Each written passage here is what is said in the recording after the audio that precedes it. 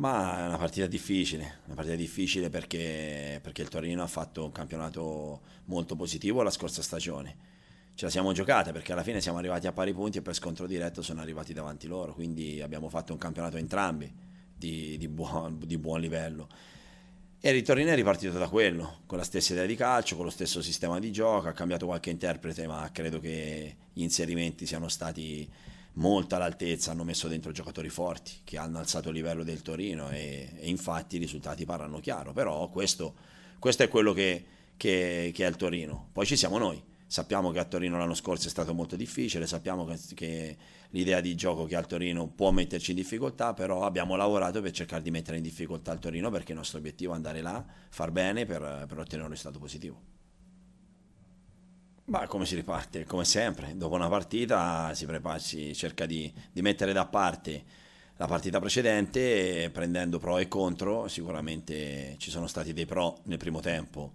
dei contro dopo l'episodio sfortunato e negativo diciamo che ha condizionato l'esito finale della partita e ci si allena per preparare la, la successiva perché, perché, c'è sempre una, una, riprova successiva e per noi la, la riprova successiva è quella di domani. Ma sì, diciamo che è un peccato non avere tutti gli effettivi a disposizione, credo che sia un problema non solo del de Sassuolo, di tutte le squadre, perché quando poi inizia la stagione si giocano partite ravvicinate, turni infrasettimanali come è successo a noi e come succede alle squadre magari che giocano anche le coppe, ci sta di non avere tutti a disposizione. Purtroppo abbiamo tante defezioni nel reparto avanzato, però abbiamo, ho possibilità di scegliere e, e quindi questo vuol dire che, che giocatori ne abbiamo.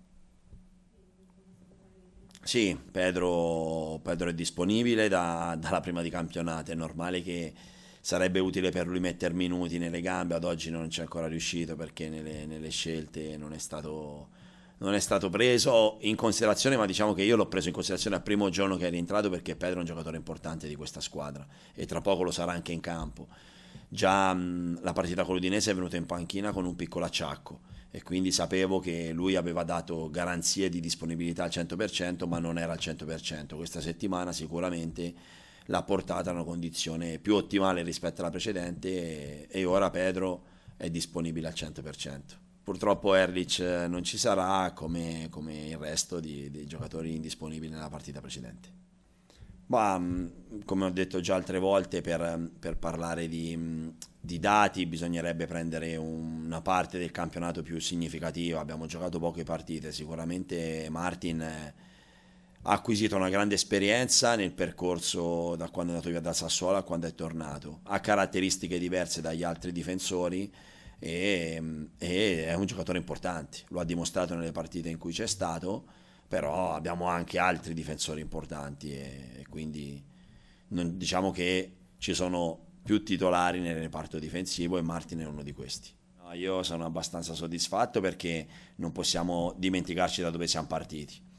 E abbiamo avuto delle defezioni, questo non lo dico per trovare una scusa, ma ora è presto per tirare una riga, come ho già detto, quindi fare analisi su quello che abbiamo fatto mi sembra molto precoce. È normale che un allenatore faccia delle analisi ma le fa quotidiane e non le fa in base ai risultati, le fa in base a quello che vede sapendo da dove si è partiti. E io so da dove siamo partiti, forse qualcuno magari non se lo ricorda, però dobbiamo solo stare tranquilli, sereni, concentrati sulla partita di domani e, e mettere tutto noi stessi nella partita di domani sapendo che che se ci fossero stati anche tutti sarebbe stata comunque la stessa partita difficile da giocare con delle difficoltà, ma sicuramente metteremo in difficoltà il Torino, di questo ne sono sicuro e su questo dobbiamo concentrarci, poi tutto il resto non mi interessa. Ma io ho detto che è un altro Sassuolo, eh, poi se vogliamo fare dei paragoni bisogna aspettare un pochino di tempo, io nella testa ho un'idea su, su quello che possiamo diventare, è normale che dobbiamo essere tutti, dobbiamo dar continuità più possibile, dobbiamo ottenere risultati perché i risultati danno autostima e consapevolezza, perché siamo comunque una squadra giovane, una squadra poco esperta per la Serie A in alcuni effettivi. E quindi secondo me possiamo emulare quello che abbiamo fatto l'anno scorso e forse anche migliorarlo. Ad oggi dobbiamo lavorare per poter pensare a quello che ho detto, perché oggi non siamo quelli che hanno finito la scorsa stagione ehm, il campionato, non siamo quelli questa ora.